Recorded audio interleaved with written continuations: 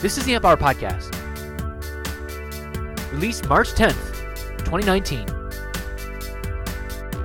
Episode 433. An interview with Sam Stranks.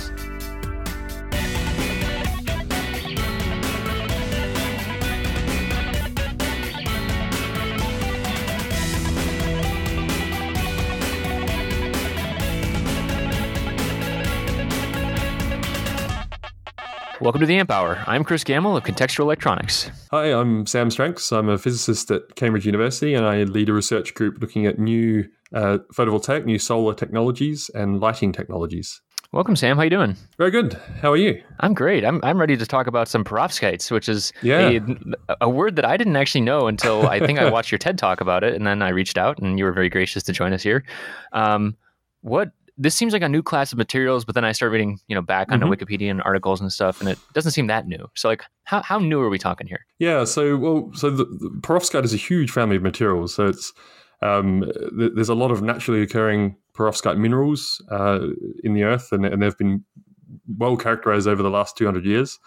Um, so actually, the, the word perovskite um, is named after a Russian mineralogist, uh, Perovsky, um, and and they were they discovered calcium titanate, which is the first perovskite. Yeah, and it looks like the shape is kind of p- p- part of it. Is that right? Like the, the shape is more than anything else. Exactly. So it's it's it's the crystal structure. So it, it takes the crystal structure ABX3, and so in each of the A, B, and X sites, you can have different uh, different atoms, different ions. Um, and so calcium titanate is one where they have calcium, titanium, and, and oxygen. Um, but then there's a whole so so this is a naturally occurring class of materials. But then there's a Okay. whole lot of man-made perovskites, which are the ones we're working on. Um, And in fact, they also have quite a bit of history. There's been sort of over the, the last two to three decades, um, in fact, even more than that, people have been working on these these perovskites for different uh, electronic applications, and particularly we have these. we- We're working on these hybrid perovskites, which have um, they have organic molecules in them as well. Mm, yeah, And yeah. the, yeah, the, these were sort of these were used uh, for organic transistors in the '90s. There's a lot of research going on at IBM uh, looking at these materials, um, and then uh, yeah, so they were used for, for transistors, and they haven't really um, stepped forward much in, in that field. Which um, one, one trick pony right now, but uh, it sounds like they're definitely expanding. Uh, well, I and think it's, that's it, yeah, that, that's the excitement that that so in 2009, then they got they, they were first used in a solar cell, um, and that really Right. well so that was the, the, the very first use of it. And then 2012, there was a, a big efficiency jump, and that really started this wave of, of perovskite work.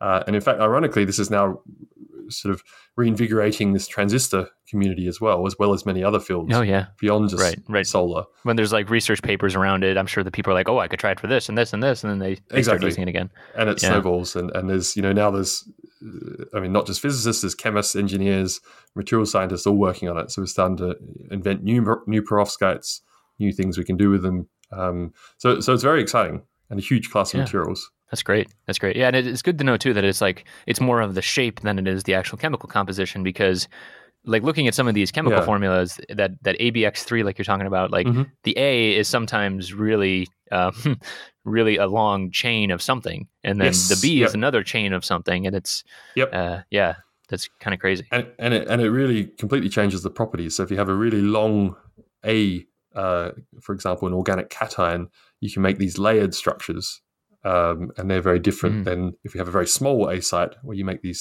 three-dimensional very compact crystal structures and they have very very different properties even though it's a very small change Mm, okay. What? Uh, so before we before we jump into the technical stuff, what Yeah. what would you say the the level of um, of knowledge around around chemical makeup and and Mhm. material properties people need to have in order to understand this?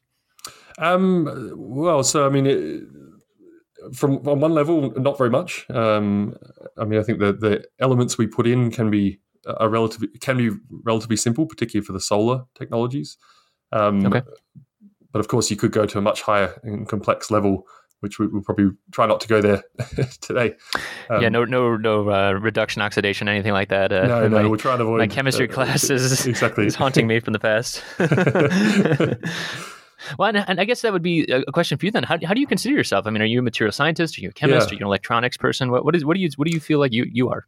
Uh, yeah, so I, I, mean, my, my background is as a physicist, and I, I would say uh, I'm mostly a physicist, but I do certainly you know don the hat of a chemist and uh, and of electrical engineer, of a chemical engineer, um, material scientist very frequently. And in fact, it's it I could very well you know fit in, our work could fit in any of those departments. Mm-hmm. Um, and yeah. I think that's one of the exciting things that you know it, it really is this interdisciplinary work um, that is only enabled by engaging you know the chemists and the material scientists and the right. engineers together. Yeah, I, I worked for a year and a half or a little bit more in a in a Samsung fab, and mm-hmm. I went in and I'm like, oh, electronics, and then it's like, oh no, oh this isn't this isn't electronics at all. I mean, you learn a lot and, and it's great, but it's not it's not yeah uh, yeah it's it's not resistors yep. unless yes. you're making the resistors out of something. That's true. Yeah, yeah. Um, but I but I have learned a lot in this process as well. I mean, it's it's it is very exciting because you do learn a lot of different fields and you have to yeah, learn them very definitely. quickly. Well, and it seems like I, mean you're on the edge of research as well, so that yeah. that you kind of have to you know, I read, I read about the, you know, uh, the transistor in the early early days. You know, the mm-hmm. uh, what's that book that I like? I have it up here in my loft somewhere. Um, the uh, about the the Bell Labs, the Idea Factory. I read that yes, stuff yeah. and about. Mm-hmm. Yep. Um, great book, but like you know the the stuff that they were doing, they obviously had big teams as well. But like they had they had chemical um, you know chemists, they had material scientists, they had mechanical engineers, electrical mm-hmm. engineers, everyone. So you have yep. to be really really cross platform. Exactly. How did you uh, How did you get to this point then? So you started in physics, but let's yeah. let's take a step back. Where where did, where did you get started? Yeah, so I mean, I, I so I was uh, obviously raised in Australia, and uh, I um, much sunnier climes, at least than here in Cambridge, UK. Um, and um, so for my undergraduate, I um, I generally you know like physics. I like science in general.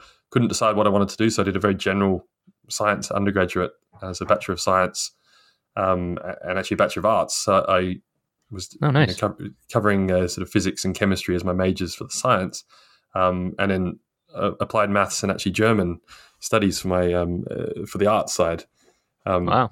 So quite a broad uh, undergrad background, um, and so yeah. So I mean, I enjoyed a lot of the work on on particularly light and how light interacts with different materials and and um, and sort of that naturally engages physics, but also chemistry of the different materials.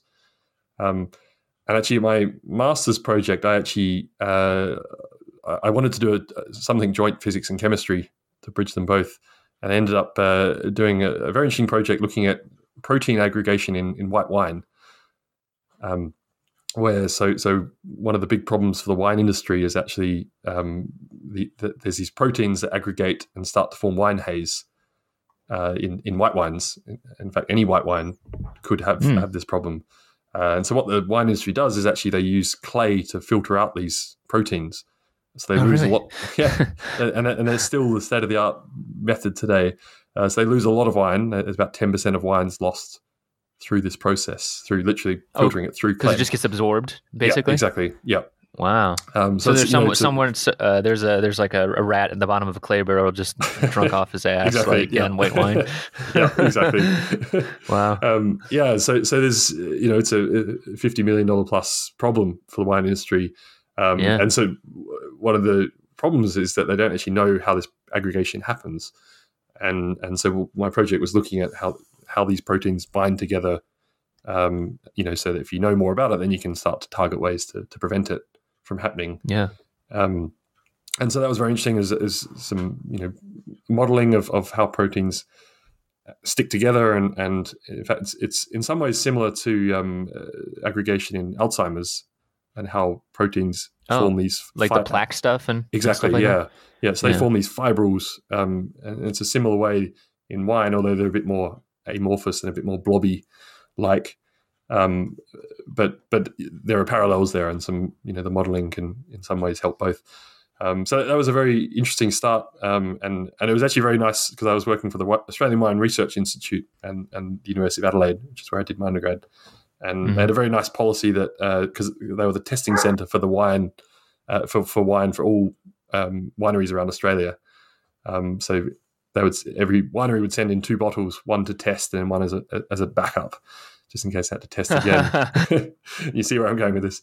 Uh, yeah, so so every um, every two months they would give a you know the leftover wine uh, out to the staff, so you get a, a case of twelve wine uh, wine bottles. Um, although half of them were usually very experimental, but the other half Oh, were yeah, very, yeah, very yeah. good. Right, right. Um, well, you know, you got to test them. You got to try them out. Yeah, I'm sure you were very popular in the, uh, you know, the, the grad student population. you know. exactly. It was yeah. not, not a lot of extra dollars to go around for No, uh, no. you know, that. but wine's a good currency. Uh, That's right. Yeah, That's right. yeah. So, so that and that's where I really, you know, engaged in this in this concept of trying to bridge physics and chemistry and trying to merge these these worlds that typically are quite quite separate and and like to keep themselves quite separate. I've, found.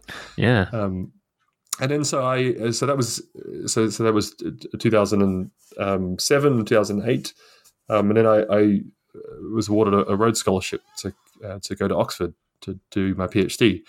Um, that was that was the end of two thousand and seven when I was awarded that, um, which was very exciting and and took me on a whole new adventure across across the sea to the UK. Yeah, that's that's that's quite a distance, actually. Yeah. yes, yeah, exactly. Across the sea in many lands. Um, and uh, yeah, and, and so that was in 2008 when I arrived in Oxford, and and you know, completely new place and a very very different uh, place, and and um, but a very exciting place, and lots happening. Um, and so you know, beyond just just the academic work. Um, but yeah, so there I I started working on um, what's called so carbon nanotubes, so really tiny cylinders of carbon, and um, yeah, the sort of so the the size are about a nanometer in diameter, so a billionth of a meter. Um, Yeah. and the idea, what we were trying to do was was wrap po- uh, polymers around these nanotubes, and these polymers can harvest light and absorb light, um, and so for example sunlight, and then they could energize electrons, and those electrons could inject into the nanotube and then zoom along these nanotubes to to electrodes. Um, when the the I, I, it feels like I've, I've been seeing less about nanotubes these days. It seemed like it was very Yeah. popular for a while. What what kind of happened? to all that stuff?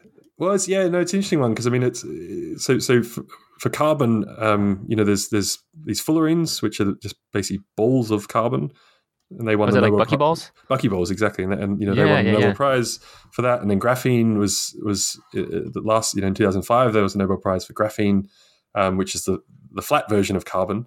Um, so nanotubes are, are sort of the odd one out. They're they're the you know they're, they're very promising, very exciting, but that, yeah, they've, they've you know they're sort of I suppose stagnated a, a little bit. Um, and I, I think one one of the big problems is that um, when you make nanotubes, or, or just when they are when they're made in the lab, you make both metallic and semiconducting nanotubes, and it's very very difficult to to separate them out. You- we Um, need a grad student with like really really fine tweezers, right? Ex- exactly, yeah, exactly. and a very good microscope. Yeah, that's right. um, and so that a couple bottles of wine to, to smooth smooth the uh, smooth the hands and everything, Yeah. right? yeah, um, yeah, and so, and so that that literally has, I think, been a big part of what's what's stopped them from being at least commercially used. That I mean, they're very promising. They you know they're very conductive. Um, they've, they've got some pretty amazing properties. So, for example, uh, you've probably heard about this space elevator concept. Um, yes. Yeah. yeah. So so nanotubes are a material that actually could could be used for that. They're light. They're strong enough that they could hold. You know, this is a tether going up to a satellite, for example, um, that you could transport things up uh, from Earth. But they'd be strong enough that you could hold that could hold um, its own weight, um, uh, but st- but not too heavy that it would you know collapse. Um, Mhm.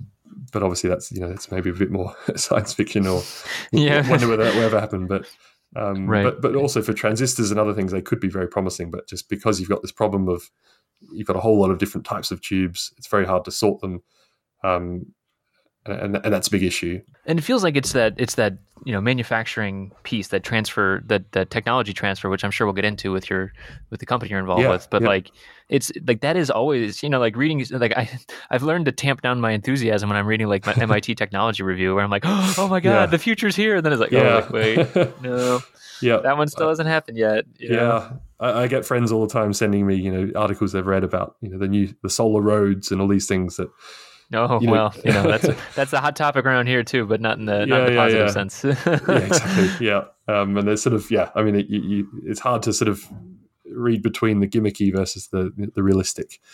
Um, and uh, yeah, although we should never dampen our excitement because there's always exciting things. I, well, I, I, feel like I have to stand in for you know. So Dave wasn't able to join us because the as you know the the time difference between the you know Europe and the U.S. Yep. and Australia is, is splitting the world in three, so that's always tough. Yeah. Um, but yeah, Dave is a big fan of debunking, and uh, I think yes. he just talked about some graphene or some heater element that was based on nanotubes or something like that. Yeah, too. yep. Yeah. So, but okay, so let's get back to this the real the you know, the stuff that you're you're doing though. I mean, so like, so what made you transfer out of nanotube research into something else then? Yeah. So um, yeah. So so the, I finished my PhD in, in 2012, um, and then um, was looking at next opportunities. My wife actually had another year of her PhD to go uh, herself, um, and uh, so I was looking at opportunities in Oxford, and there was so another group. So, so I did my PhD in, in a group, the carbon energy group, but another group, uh, which is Henry Snaith's group. Um, they worked on, um, so also in the physics department in Oxford, they worked on what's called dye sensitized solar cells.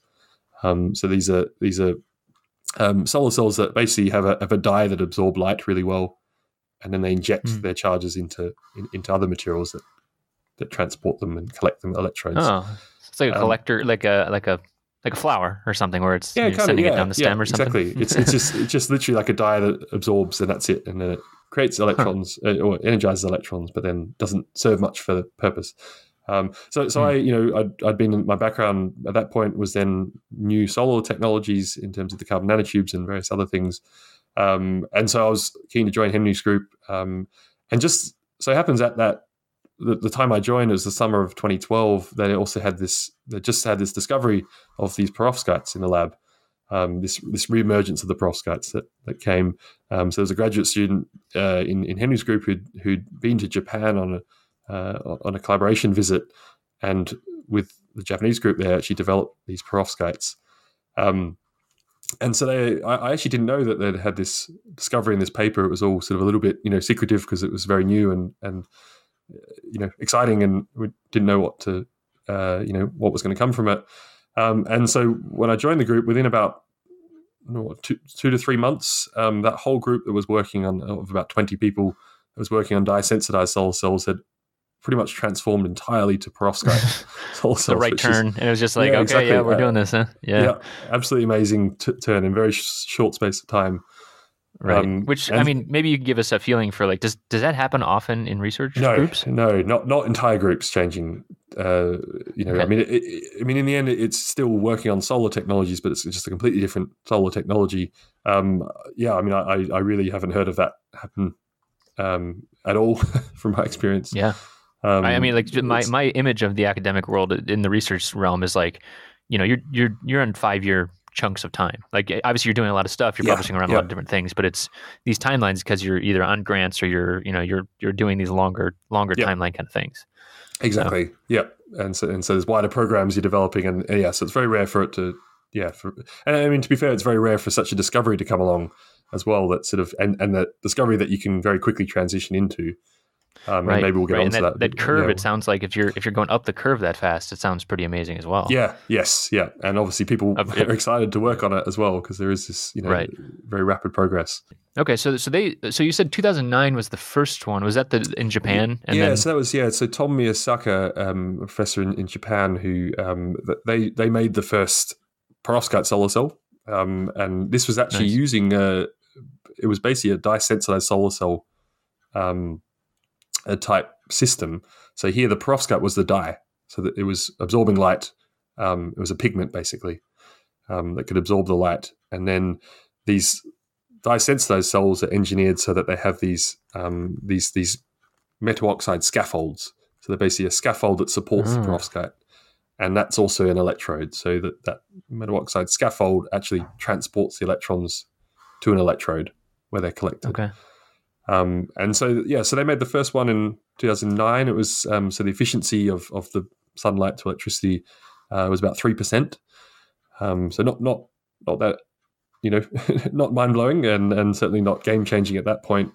Um, mm-hmm. And and so it wasn't really you know no one really caught onto it. Um, sort of overlooked um, really until 2012, and that was from the graduate student Henry Snaith's group who went to visit the group there to start working on them on these things and and and that kind of then reinvigorated it. Um, yeah, and and one of the it was it was actually quite funny because one of the one of the things that actually made it work was actually a, a, a mistake in the in, in in the amounts they were weighing out of the materials to make the solution. That's how myths are built, though. You know, like that's how you have to have it happen. You know, exactly, exactly. It would, and, and you know, I think you think back on it and wonder whether we would have completely overlooked this. you know, even till today, if this right. hadn't happened. Um, right. So, That's like yeah, the, so, the apple the apple falling from the uh, you know proverbial tree. Did it yes. actually happen? Who knows? But in this case, yeah, maybe exactly. it's you know gr- grabbing grabbing the, the wrong size beaker or something. You know? Yeah, yeah. Well, it was new, it was weighing, it, it, was actually flipping around the ingredients and and and, and oh, nice. doing them in the wrong. so so double one and half the other one. Um, nice. Yeah, and, and so and then the solar cell just worked. It suddenly so that three percent suddenly went up to ten percent and that's oh wow in, in the okay. scheme of a solar cell that is a huge breakthrough and that's yeah and that, right right right and, and, these you know the dye sensitized solar cells were typically three to five percent and so in you know in a lab that's mm. the record is five percent or, or, or, around that sort of order right. when suddenly it goes yeah, so to 10%. break, break the record out of the gate would be pretty yeah. pretty impressive huh yeah exactly yeah. so that that was certainly a game changer and then that you know that was, uh, summer of 2012 and all of that was uh, you know there was a paper submitted and then the work was very quickly transforming into this into, into working on perovskites. Um, mm-hmm. And and so the other, I suppose, you know, why the big jump? Um, so so these in, in Japan in these dye sensitized solar cells, um, they were using a liquid layer. So the the layer on top is actually a liquid electrolyte, and that's the other electrode. And that meant it was very unstable. So it would actually start to dissolve and degrade the the perovskite material. Mm-hmm. And so one of the big jumps that took it up to ten percent was that was the graduate student replaced that liquid layer with a with a solid state layer. So, so oh, a similar similar kind of makeup, but just it didn't have the exactly. same the same mobility of. It wasn't liquid. It was yeah. It was just a solid yeah. layer of uh, a film, and then that mm. helped to help to jump it up to ten percent. Could you give us an idea of what the the what early days of research like that looks like? So like yeah, are you doing like designs of experiment? Are you doing like, I mean, are you in, is it, uh, does it look more like a chemistry lab? Does it look more like a semiconductor lab? Like, what does mm-hmm. it actually look like in there? Yeah. So, as in now or, or back then when we were doing this, um, I'd say back yeah. back then would be good. Yeah, I mean, okay, like, so, or you could give a general case too, because yeah. I'm sure it's going to trans transition. So I think I would say mostly looking like a chemistry lab, in that most of these materials that we're producing, we we solution process them. So they're typically, you know, we make they're, they're powders. We make them in, into solutions. Into um, so we mix them up and dissolve them, and then we we we typically spin coat them down. So what we do is we take some of that solution, we put it on a on a glass a glass substrate, and we spin coat it at a few thousand RPM, and that makes a very nice uniform film. Um, and so that, that's a lot of the, the processing kind of work is is wet chemistry.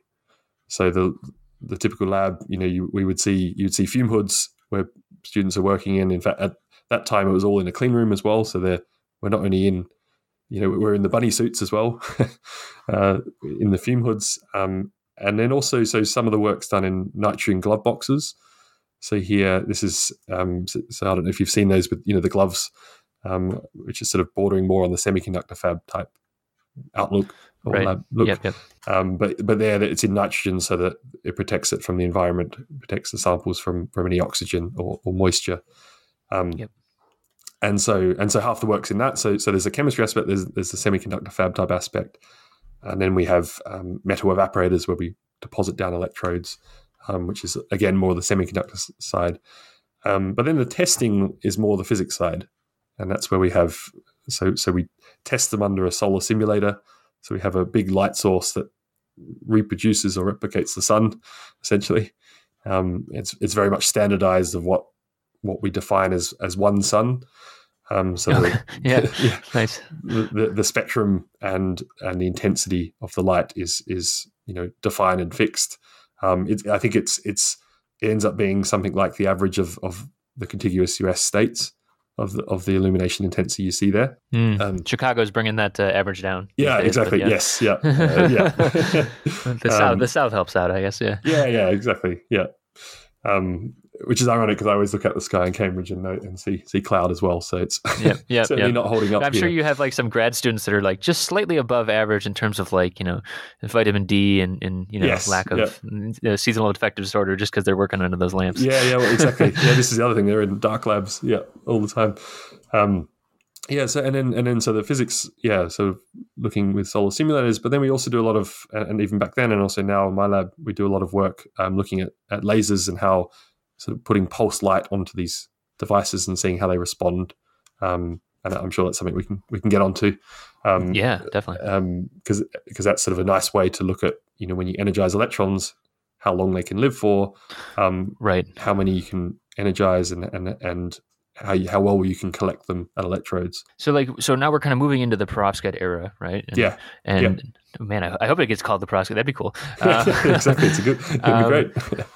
so could you could you compare us against uh, silicon or just you know generic yeah. photovoltaics these days like how do they mm-hmm. differ mm-hmm. especially like in the processing and, and everything yep. like that yeah so the well so okay so the solar cells most people see on roofs you know the sort of the dark blue panels um, so they're crystalline silicon um, is is the is the technology um, and so the the main thing that differs is is what the i mean what the absorber layer is so in this case this is silicon um, mm-hmm. and and usually it's it's two types of silicon brought together to make a PN junction, um, and and then you have electrodes attached to them so that the you know you, you, you illuminate them and then energize electrons and holes so that a hole is you know a, a lack of an electron, which we we have to consider in this sort of situation, um, and mm-hmm, then the electrons and holes are collected at opposite electrodes, um, and in many ways that a silicon cell is very similar to a perovskite cell it's just that in, in the case of the perovskite, you have a different absorber there. The perovskite is the absorber, um, but it's a similar style in that you have electrodes then um, to, to, to collect um, these uh, the energized charges. Um, what where it differs though is that silicon is is a very poor absorber of light. Um, so okay. it's, it's right. got it's got what's called an indirect band gap. So you need this multiple complicated processes to be able to absorb a photon, absorb some light, and energize an electron.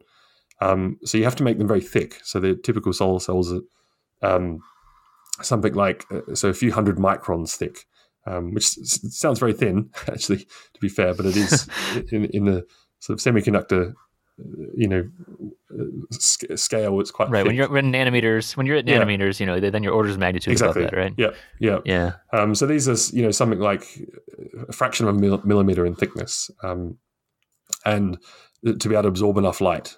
And so, yeah. so the design of the cell is a bit different because then you have to manage how you get your electrons and holes out. And I remember, I remember from like seeing like the super super high end like triple absorption uh, photovoltaic cells they yeah. put on like like satellites, and yep. that was meant for like different. Wasn't it like they have different layers that have different absorption levels yes. to get more light in there? Is yep. that right? Yeah. So these multi junctions then, so they have different different absorbers which harvest different regions of of of the solar spectrum. So some will harvest the redder wavelengths, some will ha- harvest the bluer wavelengths, um, and and that you can essentially add together and get a much higher efficiency than if you just have one layer absorbing light. Yeah. Um, and, and, what what are the what are the standard efficiencies these days? Like, so if you say you look at someone's roof, you're like, that's probably this much. You look at a, a, a satellite, it's probably this much. Like, what are those yep. areas? Yeah. So okay. So so the record silicon cell in a lab is is it's about twenty seven percent efficiency. Um, that's on a small scale, relatively small scale cell. Um, when you connect those cells together and make a module, um, then that drops to about twenty percent. So the, the full module okay. that you so the panel you see on a roof is about typically at best about twenty percent. They're usually about eighteen to twenty percent efficient um, because there's losses in the scale up and the engineering of of a full module. Um, so for so yeah, so so if we talk about just say the record lab cells, so twenty seven percent. Um, so perovskite at the moment is is at twenty three percent. Um, it's coming for it. It's coming for it exactly. fact, I, yeah, I, was yeah. at, at, a conference last week, and there was there was an announcement of a twenty four percent record now. So that's it's actually jumped another one percent uh, very recently, which is which is actually quite staggering. Um, but but then if we go to the the multi junction cells, so these you know very high efficient, um, quite complicated stacks. Um, I, I believe once the, the record triple junction is about thirty nine percent um, which is very impressive. It's it's a very very amazing um, you know semiconductor stack um, because there are you know I'm not sure how many layers there are in total, but there are many many layers that are all optimized. Right. And just It just sounds real power out. expensive, though. It you is, know, like that- yeah. those aren't those aren't the ones that you know someone's putting on their house from Solar City. No, right? Exactly. No. Um, and, and this is the thing that, you know, you, you can get this high efficiency, which is great. And so, for example, space applications, cost is, you know, really doesn't matter. Um, Right. They're perfect. You, you want reliability and Exactly. everything else. yeah, Yeah. reliable and producing a lot of power. That's that's essential. Um, I mean, the silicon cells, even the complexity is, it, I mean, it is quite complex. There are lots of different layers.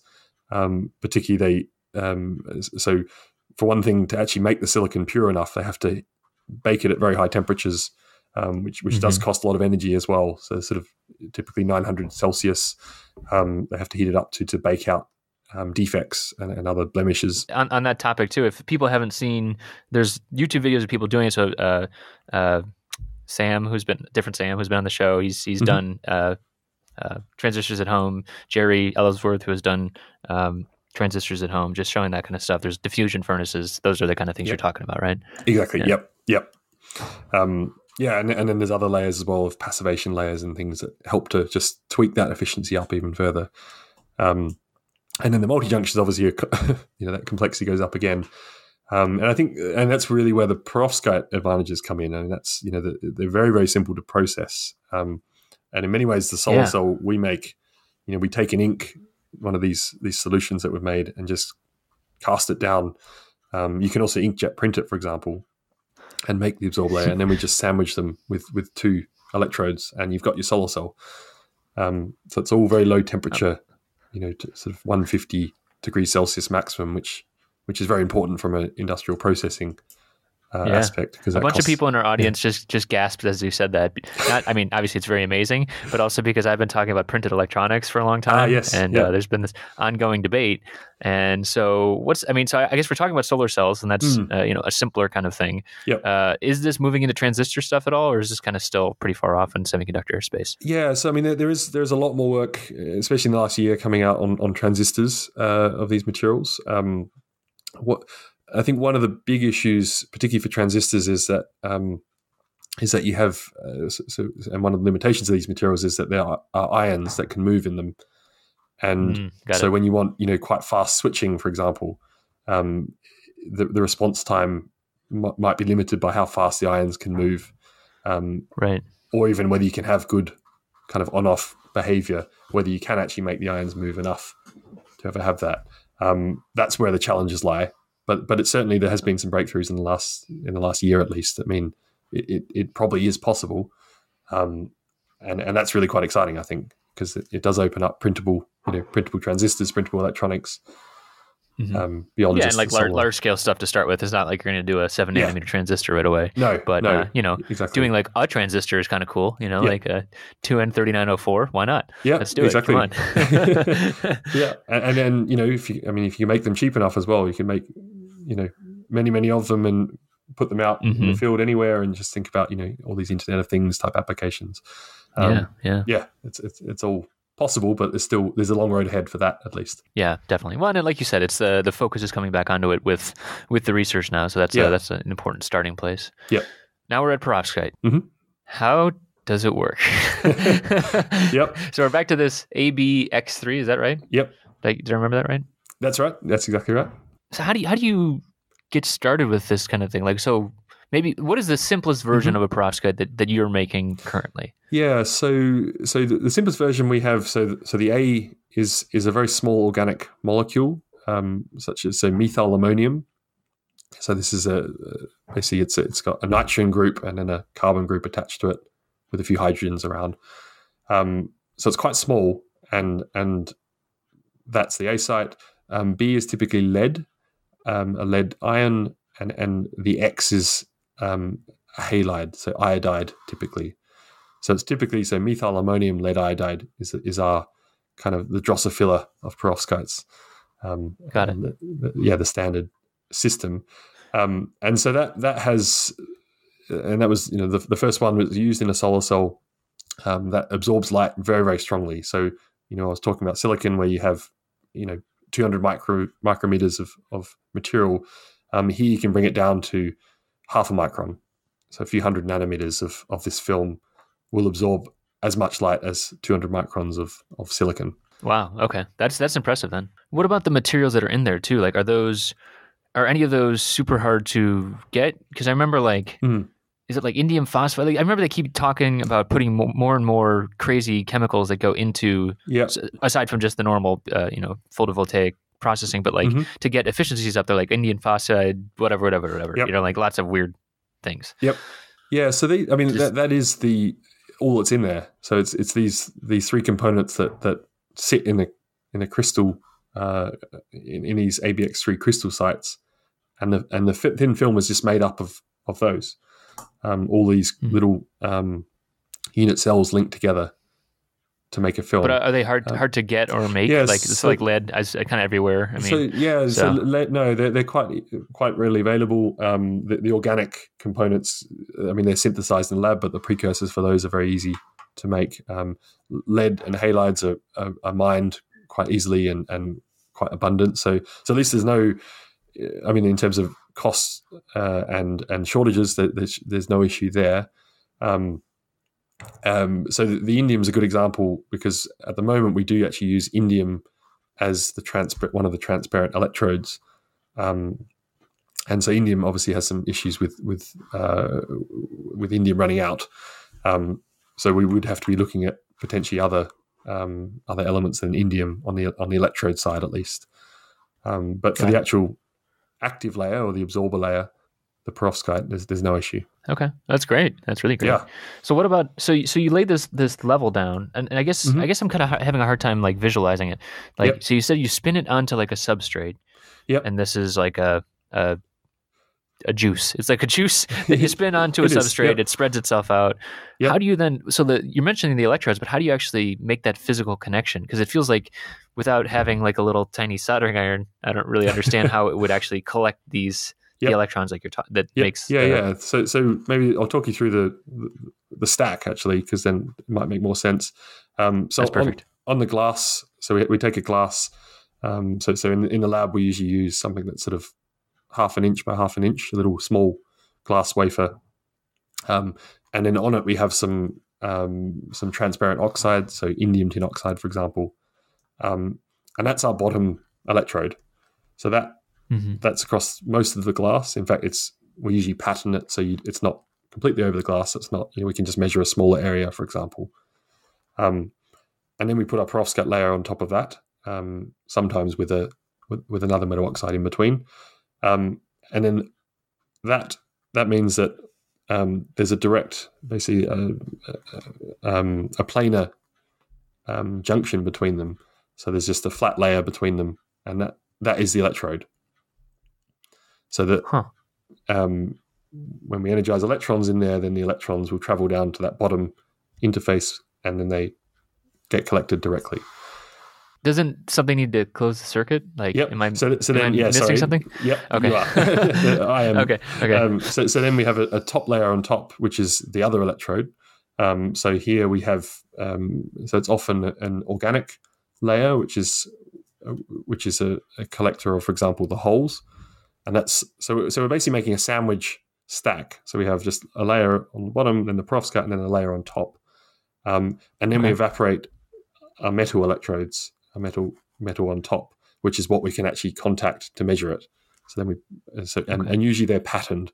So we have fingers of those, for example, um, and then we can Ah. come in and and contact one of those, and then um, we make a contact with the, with the bottom electrode with the other pin, and then that that, that then completes the circuit. So does the top layer inter- just interfere with the sunlight though, or uh, like what is? So Yeah. I'm visualizing like like almost like a capacitor in this case, where the Yep. the dielectric in this case is actually the perovskite. Mhm. But then I think of it, you know, like a, a parallel plate capacitor. In that case, the sunlight gets in the middle, or it gets in the way of Yep. the top plate gets in the way of the light. So what's what's is it passing through something? Yeah, so, so there's, I mean, there's different ways to do it, but mo- most of the way we do it is actually we illuminate through the glass, and so, um, so, so through the glass we have that, so that bottom layer, that indium tin oxide, for example, that's transparent. So then the perovskite we, we illuminate through the glass, which is transparent, and then that can Okay. directly excite the perovskite. Um, Okay. so there's nothing blocking it in the Right. way, but then on top, obviously, then there's that's opaque to the light, but it doesn't matter because everything's absorbed um, below it. Right. Um, there are other designs um, where you can have where you can illuminate from the top if you have very thin fingers, for example. But that's they're a bit more complicated and and and more lossy.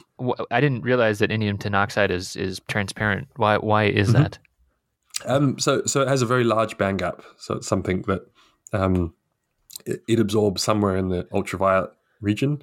So it means any light coming in that's um, uh, lower energy or, or, longer wavelength than than than the infra- than the ultraviolet is is transparent. It passes straight through. Huh. Okay. Um, you, you, can change the indium tin oxide depending on the doping of it. You can you can put other things in it and change the ratios of each of the elements to make it more absorbing if you so chose.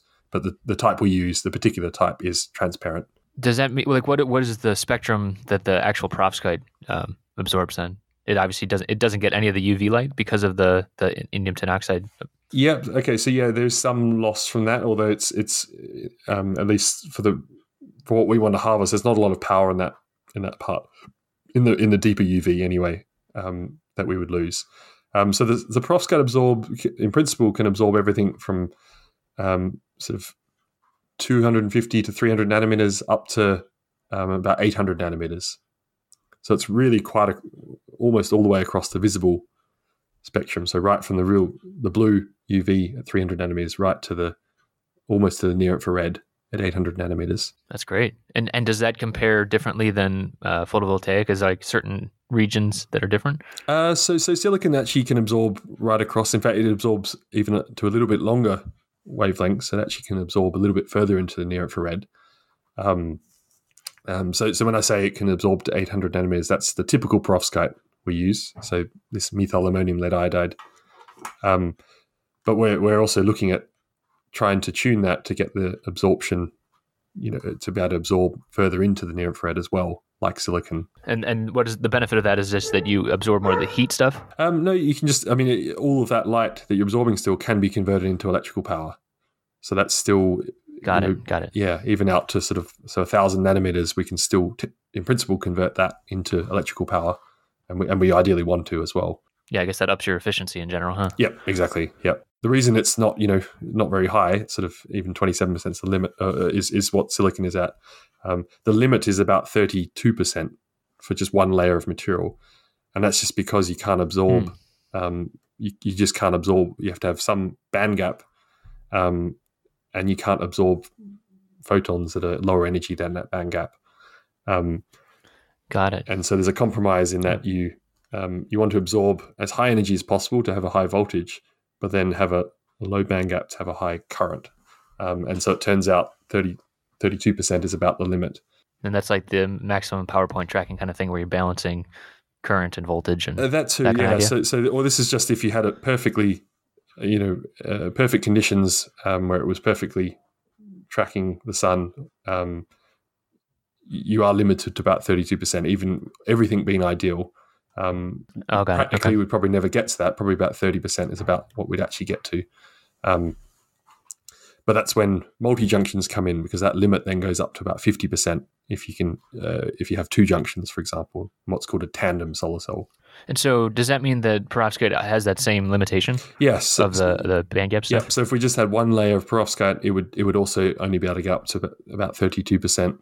Um, but then we can we can move to to tandems with perovskite, having two layers, for example, right. or, or, three layers even of, of perovskite, and really push right. beyond those those limits. Right, and I guess if you're processing simpler and you can get the light through transparent layers and everything, then you could start to have you could have layer on layer and just it's be simpler to to to stack yes. things up. Yeah, exactly. Yep. Well, you had mentioned the uh, the lasers uh, kind of targeting your like do, for yeah. testing. Could could you explain that setup and, and why you do that? So what we do, we ha- we have lasers that that produce they have pulses of light, um, and so these are very fast pulses. So usually something like um, a picosecond, um, so a thousand billionth of a second, um, or even sometimes even faster than that. Um, and what it does is okay. it, we, we we shine them on our samples and we, we, we create a pulse of light, which then creates a a pulse of energized electrons. Um, and then we monitor how those electrons then um, uh, lose their energy. So whether they um, recombine with uh, with each other, um, or they recombine with, uh, or they or they reach traps, so they hit defects um, and lose their energy, or whether they are collected at the electrode, and we can monitor all of those things. Um, and so we can we can get an idea for lifetime of these energized charges, and and that's very important because we want to know we want to obviously maximize how many electrons can be collected, um, and we want to minimize how many of them are lost to traps. Um, so it's a very using these lasers is a very good way to, to to measure this and to look at this, and then and then we can go back and look at our material and try and optimize it uh, to try and get rid of some of these defects, for example, and then see if we can improve this lifetime, improve how long they're energized for. What what causes an actual defect? Yeah, so there's there's well lots lots of different types of defects, but a, a common one is is a missing ion. So this ABX three, it might have one one site might be missing an X, um, and so that creates a, what's called a vacancy, and um, and an electron could fall into that um, that hmm. trap and then and then lose its energy to heat. So does that mean that the the because the X is doing the actual transport of electrons between these different sites? I guess maybe that makes us dig, dig into the structure a little bit yeah. more. It, well, it, it's not really actually. So the the full ABX three is involved in the transport. Um, it's just any of those sites that are missing create sort of a, a dip in the energy um, energy mm. landscape, which which an electron can fall into, like a well, sort of like an energetic well, mm. um, and it can't get out typically. Um, but one of the I think most fascinating you- things about these perovskites is that they, they have quite high defect levels. So for a semiconductor, actually, there there are quite a few defects there. Um, so something like um, one in a million of these of these unit cells of these crystal sites have a defect. Um, that doesn't sound like much, but it's but it's actually quite a lot. Um, yeah, it adds up. It adds up. Yeah. so these electrons, yeah. um, you know, it really shouldn't be working, but for some reason they are working, and it seems there's this some sort of defect tolerance in these materials that we we don't fully understand yet. Um, and it's a, really mm. quite an exciting thing, actually. That um, you know we're taught in our semiconductor textbooks that that we need to have a perfect crystal site, crystal lattice, have no blemishes, no defects. Um, and and this is kind of making us rewrite that textbook a little bit because they are working even in, in spite of quite right. a few defects. Well, but you're not using silicon in this case either, right? So. That's true. That's true. And yeah, and, and for yeah. comparison, so silicon has um, about a million times fewer defects than than a typical perovskite cell. Yeah. Um, and if you had the same level of defects as you had in perovskites, um, in, in the silicon, you would you would have no operation at all. You, you would have all traps. I see all the electrons would be trapped. yeah, well, it makes good for, for uh, good manufacturing stuff. Yes, yeah, yeah. So it seems to be tolerant to you know, and that's why it's tolerant to making them quite easily and and quite cheaply um, because they are tolerant to these defects. Could you explain the uh, so so you mentioned the the entire ABX three helps with the structure. Mm. What about it actually makes that electrons are mobile between between this sheet of, yeah. of stuff that you're laying down? Yeah. Um, so, so mo- most of the what's called the band structure. So, what the electrons see. So, there's we have conduction band and valence band. Um, that's that's made up of of the primarily from the bonds between um, the B and the X. So, usually the lead and the iodide. Um, so that dictates how you know what the energy levels are of these conduction bands and valence bands, and they're the that's the region that the electron moves through.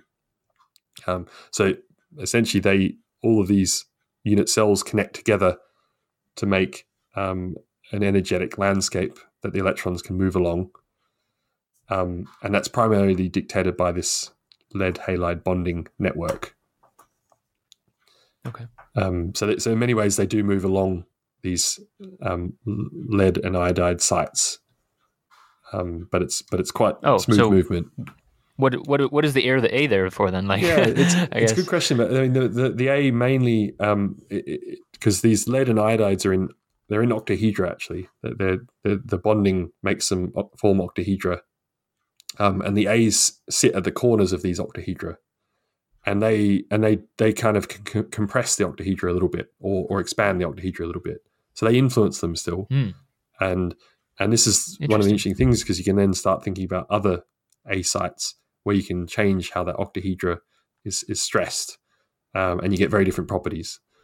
Um, so the A is still quite important in in dictating how the lead and iodide bond.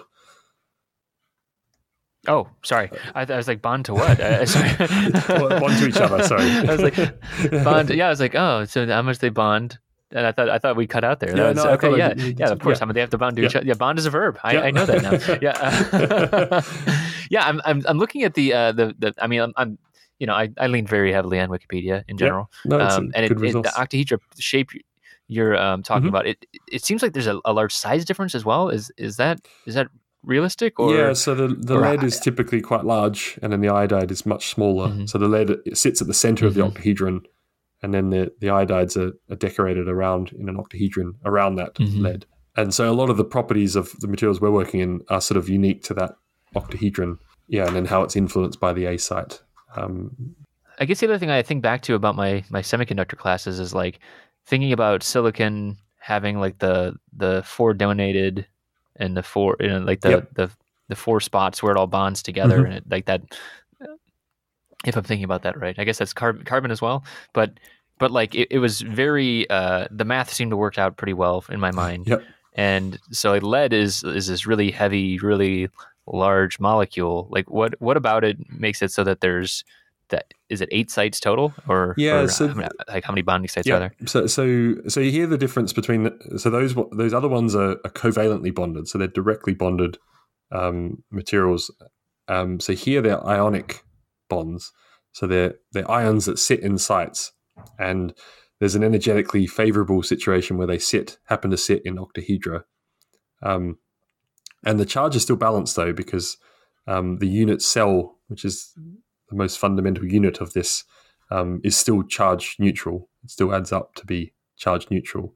Um, it just so happens that they end up stacking in uh, in, octahedra.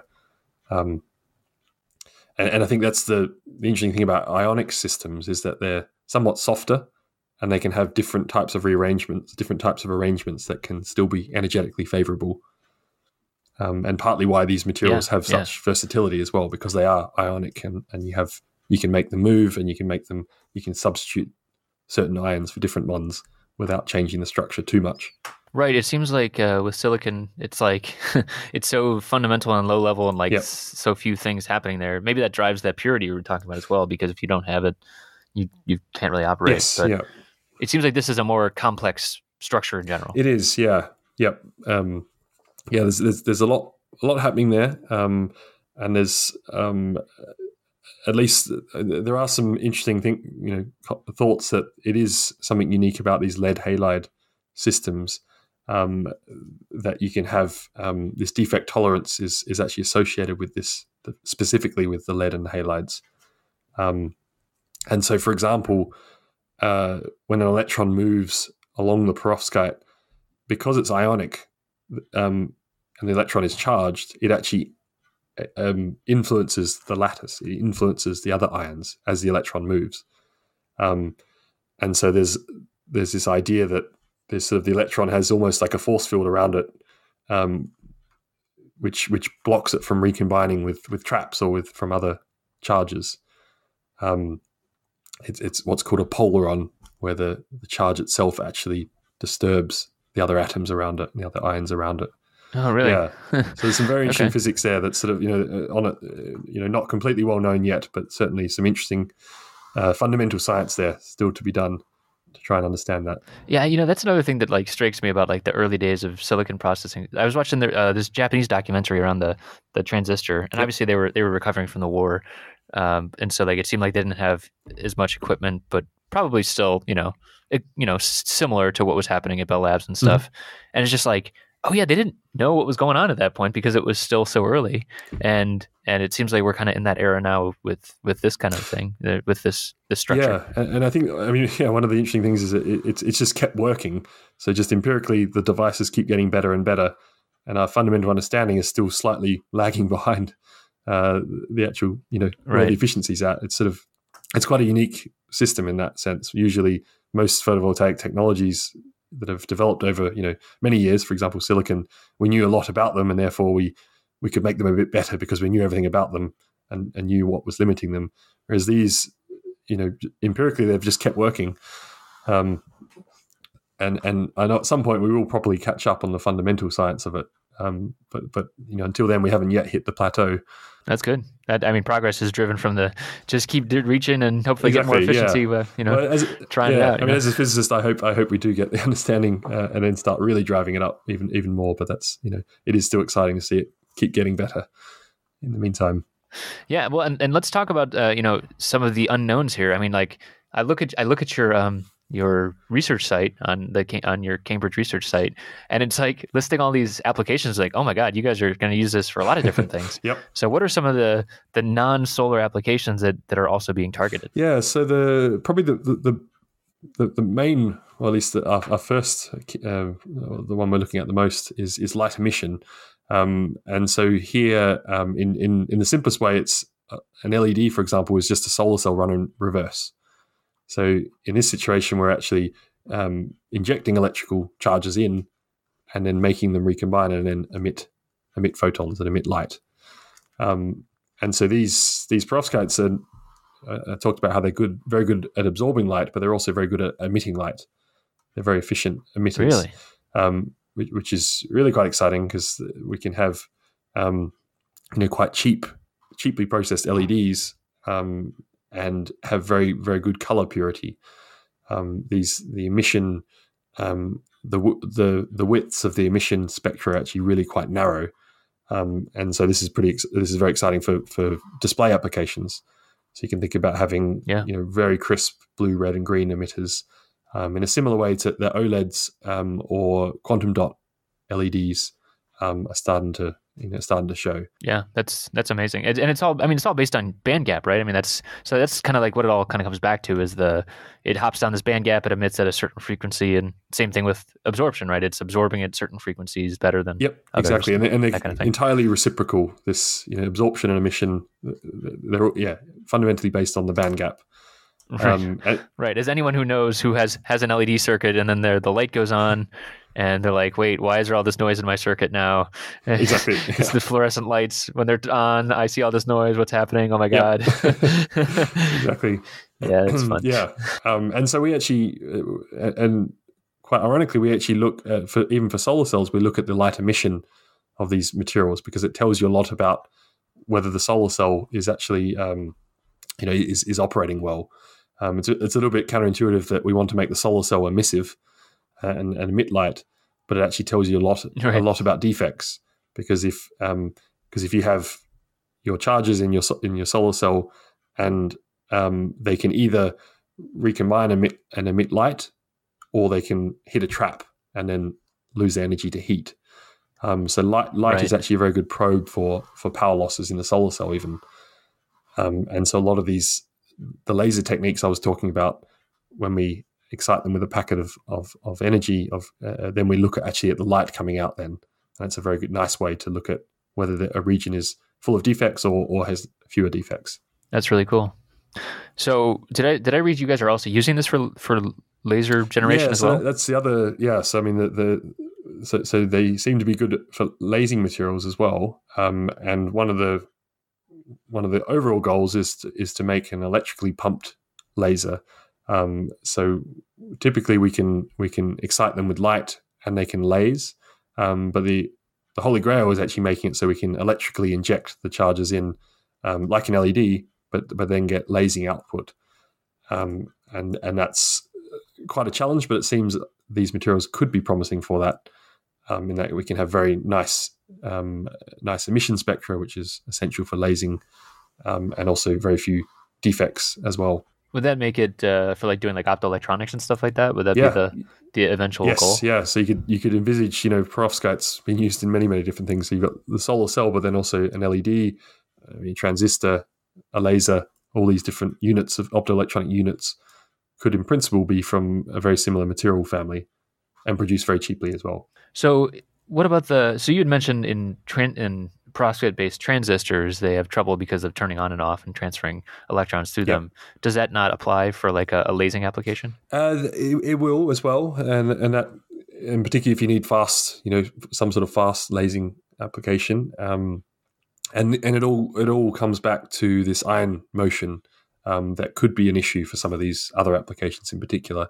um, even for solar cells as well, actually, that while you're operating um, and injecting charges, for example, you can have ions that actually move over time. And this could lead to some quite serious stability issues. Um, and it's that's one of the big challenges actually in general in, in these perovskites is to to try and mitigate that ion motion and try and freeze it out if we can. And that that's just going to be again like like studying the chemistry and studying change. Exactly, and we, and we've found actually some some quite good. I mean, even over the last one to two years, there's been nice breakthroughs there where where this I, I talked about this A site, this this methyl ammonium, very small molecule we put in. Um, we've actually been swapping that out for slightly different molecules that are slightly larger that can actually, that actually stabilize the ion migration um, and ion motion a little bit at least. So there are hints that there are ways to do it. Um, we're not there completely yet, but the, I'm very encouraged by that, that, that we can do it. Yeah, um, and and that's where the chemists will really come in, will, will come into their own. well, and so you mentioned the past one to two years. It sounds like you're also uh, cranking out some new things with Swift Solar. So tell yeah. us about Swift Solar. Yeah, so so I've, I'm um, a co-founder of Swift Solar, and there's um, so, so, there's the five other founders, um, and um, and so and so well, the history behind that was a, a, few of us were previously working together in in Henry Snaith's group in Oxford. Um, I spent some time at MIT um, and and met one of the other founders there, and a couple of the other guys went to Stanford as well, and so you know we're, we're quite passionate about. this. So not a very well educated bunch. It no, sounds no, like uh, it sounds like you guys are yeah right. not many not many degrees in the room. no, um, yeah. So so we've, we, we've been yes over the last two to three years been um, sort of developing these ideas, um, and what we're particularly looking at doing is is is making these um, these tandem cells. So this is where we combine two perovskite layers together um, to to, nice. to, really go to high efficiency. But but what we're also doing is making it making lightweight um, versions of these cells. So here, instead of putting them on glass, for example, we can start thinking about putting them on on plastics or on um, on metal foils that that are very lightweight. And so this has some real advantages yeah. in in terms of um, installation, for example. So you could you could you could think about a, a roll a roll of very high performance solar sheet like a tarp that you can roll out on your roof and and you know very easily and cheaply install a panel. Um, uh, you know, one idea would be you know sometime in future you could go to Home Depot and Depot and and, and you know just cut off a solar sheet and take it home and, and roll it out. Yeah, that would be the that'd be great. The, the ultimate goal, but you know, there's, uh, a lot of challenges there. But but it, really, the the opportunity is um, is is I mean, solar at the moment is is essentially limited by cost. Um, and one of the ways to bring down costs of not just the actual panel itself, but also all the other things like installation and wiring, um, is to go to high efficiency. So really, the drive is to go, you know, beyond this 32% limit to, to these tandem structures that can push us well into the 30s, 30% region. Right. Um, yeah. I, yeah. I uh, I have a guilty pleasure of watching uh, tiny home videos. Yeah. And uh, it, it's embarrassing, but uh, I do. And they, they only fit like four solar cells on their roof, and it's usually about like twelve hundred uh, watts, I think, max. And so you're saying like you can maybe make that two and a half kilowatts or you know more. Yeah. So well, that's so kind of like the idea. Yeah, the idea. I mean, if if we think about, uh, you know, let's say today, if um, the the panels are twenty percent efficient.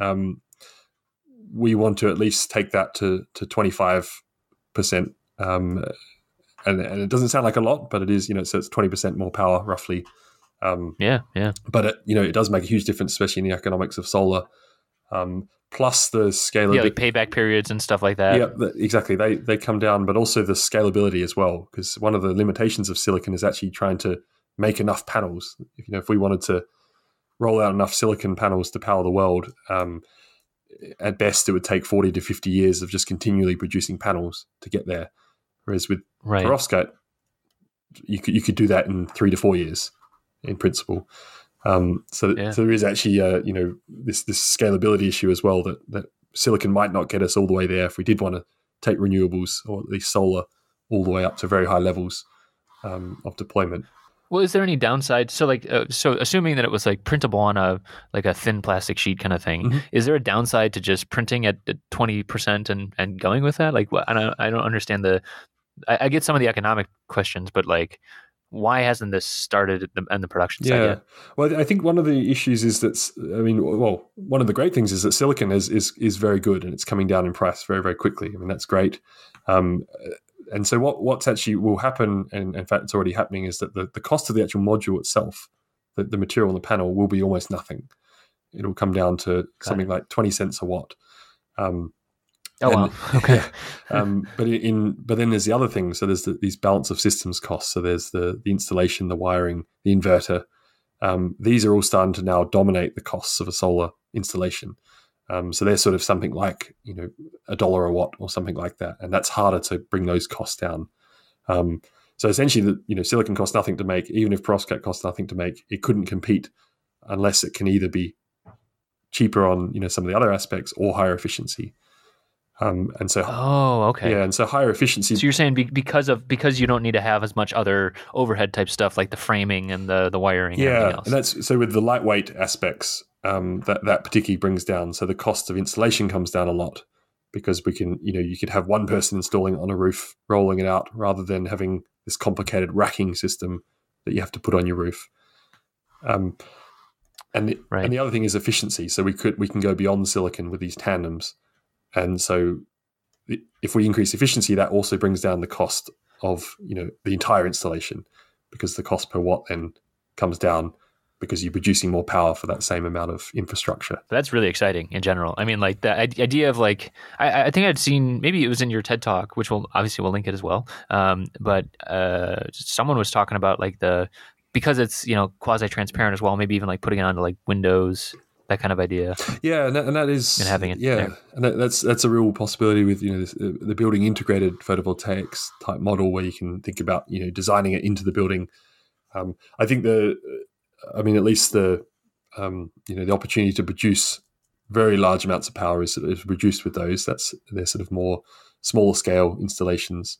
Um, the the rooftop and utility scale solar is sort of where the you know, real opportunity is to to really make a difference in, in terms of climate change, in terms of renewables um, powering things. But there are opportunities to do that, and, and I'm sure we'll start to see um, uh, commercialization of, the, of, from the building integrated side as well. That's great. That's yeah, that's really exciting. Well, um, this is, I mean, amazing that this stuff is. I like personally, like I, I think about like the fact that people just go and making you know mix some chemicals together and like oh yeah we got a new way to harvest energy. That's like kind of the the dream. That's like tony stark type stuff. Yep. uh, that's amazing. Um, so i appreciate you coming and talking to us about this. Where can people find out more about you and your research and and maybe even some background info in case they don't understand photovoltaics and yeah so like so um, well there's, i mean there's a few resources. I mean obviously you can check out my own group webpage but that may be more on the on the technical side. Um, there's um, well, there's there's a quite a nice website. So pveducation.org um, is is quite a good uh, quite a good resource for finding out about just just photovoltaic technology in general, and they have some quite nice animations and things to explain a bit more on that. Um, I think in terms of perovskites, there's um, there's we had a Scientific American article uh, a few years ago now um, on the opportunity, particularly around these tandems. Um, that, that could be quite a good resource for those wanting to find out more. Um, and uh, I mean, I think you know there's there's quite a bit of quite a few articles coming out um, on perovskites and their potential. Um, you know, so there's you know, little, generally little joke can, there with the potential. Yeah, exactly. yeah, um, yeah, but and I suppose uh, I mean, uh, you know. I suppose just to make sure it's not just hype. I mean, you know, there are still some challenges that we do need to solve from the from the lab side and, from the from the scale up side. Um, and and one of them is is you know we have to make them last on the roof for many years. That's that's a challenge we need to make sure we can yeah um, we can validate. Um, and and so we you know we and many others can perform stability tests where you do accelerated lifetime testing, for example. You simulate them being out in the field, putting them stressing them under similar conditions. Um, but that takes time, and you know, to really validate them, and for someone to underwrite a panel for 20 years, you really need some very strong and convincing data behind yeah. that. Um, yeah, and, definitely. You know, I always say it's quite it's funny that you know in solar they have a product that they'll guarantee to last for 30 years, which is just amazing. You know, to have an electronic product that can be guaranteed to be operating for that long. um, Yep. is fantastic. so the bar is set, and that, and that's something that does need to be, you know, uh, we do need to get there. Um, and I think that there is some encouraging stability data now coming out, but it's something that will take time, and that's why, at least why you know we're not seeing it on the on the shelves today. Um, but I think in the next two to three years, we will start to see the first products, and the next five years really start to see, you know, qu- quite a lot of infiltration of, of, of some serious perovskite panels. Awesome. Are you guys? Uh, are you taking new students at your at your lab? Yeah, or absolutely, Is that something yeah. should people should even reach out? yeah, about? so please do reach out if you're interested in in uh, you know in, in uh, PhD or, or masters um, uh, or, or or postdocs looking at, at these perovskite materials. Please do reach out. Um, and uh, likewise, Swift Solar, if, if you're interested in hearing more about it, we have some uh, uh, contact there on our website. You can check out Swift Solar um, and, and and follow us there. Um, yeah, absolutely. We'd love to chat with people interested in, in learning more and, uh, and and working with them. Great. And uh, I saw you're on Twitter as well, so we'll Yes. we'll link that. Uh, we'll, we'll link that too. Is, is that that's usually how we we communicate here at the Yep. Amp Hour. No, so. please do. All right. Well, Sam, thanks so much for telling us about this. I appreciate it. Thanks, Chris. Thanks for having me on. It's great to chat.